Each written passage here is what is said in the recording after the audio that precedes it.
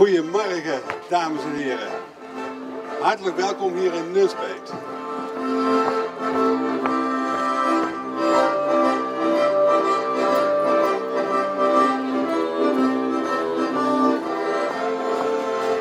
Deze geeft zo'n pak bescherming skip leuk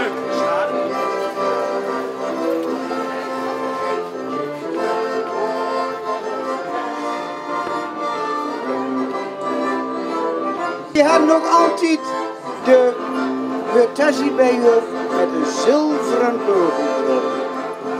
En dan natuurlijk, omdat het feest is hier in Nunspeet, de witte